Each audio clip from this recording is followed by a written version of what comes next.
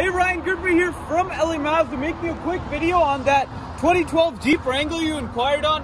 Man, take a look at this thing. It's in mint condition all the way around. Man, like it doesn't look like it has the mileage on it.